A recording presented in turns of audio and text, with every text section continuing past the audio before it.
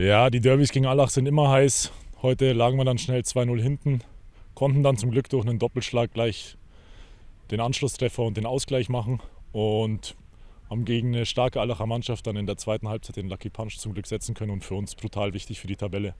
Und war ein geiles Spiel zwischen zwei richtig guten Mannschaften, hat richtig Spaß gemacht. Wie du auch richtig sagst, ist bitter für uns, weil ähm, unnötig, sehr unnötig. 2-0 Führung für uns ja, da muss man cleverer sein. In den entscheidenden Zweikämpfen, in den entscheidenden Momenten waren wir das heute nicht.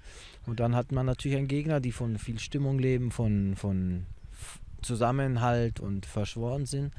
Dann kommt so ein Gegner natürlich nochmal auf. 2-0 kurz vor der Halbzeit. Eigentlich musste das Ding in die Halbzeit bringen und dann sieht das Spiel anders aus. Aber ja, das ist natürlich auch der Fußball, ist dem geschuldet, dass wir natürlich ähm, dann die entscheidenden Zweikämpfe nicht für uns entscheiden oder die zweiten Bälle nicht und dann ja unglücklich auch Gegentore natürlich heute auch kassiert haben. Ja, vor der Saison wollten wir natürlich angreifen, aber uns war schon bewusst, dass da ein paar Mannschaften drin sind, die da auch oben mitreden. Vor allem Loho von Nord, die haben schon eine Qualität im Kader, wo wir schon mithalten können. Aber ähm, ja, tendenziell in der Spitze sie vielleicht ein bisschen besser sind. Ähm, aber wir wollten da auch über die Gemeinschaft und halt auch einfach eine gute Qualität natürlich ein Wörtchen mitreden. Jetzt haben wir natürlich einen Rückstand, wobei es jetzt aktuell nach der Corona-Pause wirklich einfach nur noch geil ist, mit den Jungs zu spielen. Und wenn du dann auch noch gewinnst, macht Spaß. Also es geht jetzt in erster Linie erstmal, dass wir wieder kicken dürfen. Das ist super geil. Ähm, aber natürlich schauen wir noch nach oben. Lof hat am Freitag verloren. Ähm, überraschend gegen Erdwig zu Hause. Nächste Woche ähm, spielen sie gegen Nordlechenau gegeneinander, nehmen sich die Punkte. Also ich würde lügen, wenn wir da nicht drauf schielen würden. Aber wir sollten erstmal unsere Spiele gewinnen, wie man heute gesehen hat. Wir waren 0-2 hinten. Das Spiel muss dann auch erstmal gewinnen und nächste Woche spielen wir in Günding. Das ist mindestens genauso schwer wie heute. Das ist halt genau das. Aber das ist natürlich auch Fußball. Man hat dann die zwei Möglichkeiten äh, mit Husi vorne, wo er den Ball was eigentlich super gut macht, aber dann halt leider nur den Innenpfosten trifft. Uli auch nochmal Überzahlsituation im 16er. Dann haben wir nochmal eine Aktion, Schiri hat ein gutes Spiel gemacht, um Gottes Willen, aber das war kein Abseits, aber kann er natürlich auch nicht sehen. Mein Gott, der ist halt auf sich allein gestellt, aber es war ein Meter, kein Abseits und dann laufen wir natürlich dann auch über die Außenbahn und können den Ball oder müssen den Ball nur noch äh, quer reinlegen äh, und dann können wir vielleicht nochmal was machen. Aber ist Fußball auch, wenn man dann auch seine Sachen vorne nicht reinmacht, dann wird das bestraft. Das hatten die Menzinger dann gut gemacht und über, wie gesagt, über die Stimmung dann gekommen und machen dann das dritte Tor aus einem Fehler wie auch das zweite Tor aus einem Fehler bei uns im Passspiel, in, im Spielaufbau. Und das sind Sachen, die natürlich dann von der Mannschaft, die dann so steht wie unter Menzing aktuell, einfach auch äh, bestraft werden. Hm, wir hatten letzte Woche im Ligapokal schon so Probleme, dass wir ein bisschen unkonzentriert waren, vor allem im Aufbau. Und das bestraft dann so eine Mannschaft wie Allah natürlich ähm, direkt. Und ich denke, dass wir einfach daran arbeiten müssen, dass wir konzentriert an die Spiele reingehen. Das ist natürlich mit sagen wir es mal so. Wir haben aktuell auch keine Kabinen zur Verfügung. Es ist halt so die Situation, da muss man sich halt anpassen. Es fehlt so ein bisschen dieses, man macht sich in der Kabine nochmal heiß, so ein bisschen das Feeling vorm Spiel fehlt. Aber das ist in dieser Corona-Zeit halt auch einfach so, wer am besten mit den mit den Gegebenheiten umgeht, der steht halt dann am Ende auch oben und da müssen wir noch einen Schritt nach vorne machen. Aber ansonsten war ich im Großen und Ganzen zufrieden.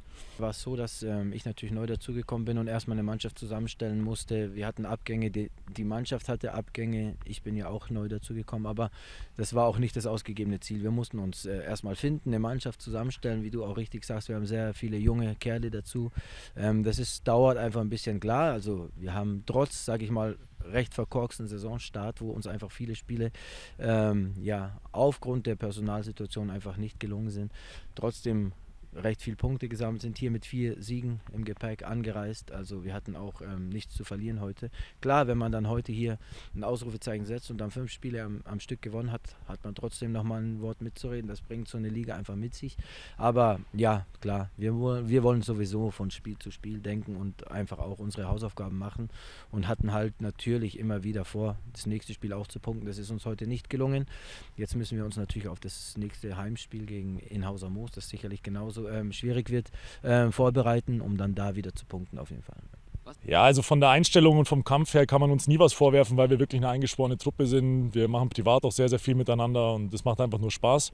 Ähm, aber im Endeffekt geht es nicht nur um irgendwelche Einstellungssachen oder Kampfsachen, sondern man muss auch ähm, auf dem Platz halt liefern, was ähm, das Fußballerische betrifft. Und da haben wir auf jeden Fall vor allem Unkonzentriertheiten im Passspiel und im Spielaufbau gehabt, die uns einfach nicht so passieren dürfen. Und das hat sich letzte Woche auch schon angedeutet. Und das müssen wir einfach abstellen. Jetzt haben wir zweimal trotzdem gewonnen, letzte Woche auch nach Rückstand gewonnen, heute nach 2-0 Rückstand gewonnen. Aber ähm, das wird nicht immer gut gehen, sagen wir es so. Da müssen wir schon nochmal einen Schritt nach vorne machen. Ja, dass meine Mannschaft einfach auch ähm, trotzdem ja, trotzdem 2-2, das dann einfach sehr, sehr zeitlich ungünstig für uns fällt. Ähm, trotzdem nicht aufgesteckt hat. Wir haben auch in der in die Kabine einfach nochmal gewusst, wir werden nochmal zu Chancen kommen.